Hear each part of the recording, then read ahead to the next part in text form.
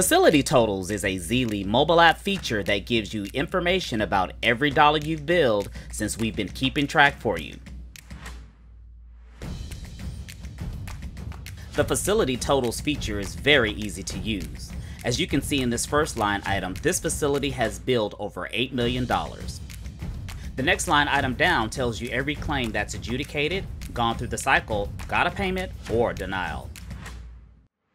The next item on the list is total paid. This reflects the payments made on those adjudicated claims. Next, you can see the total percentage collected on those adjudicated claims. And the next line item are the unadjudicated claims, which is also known as your aging.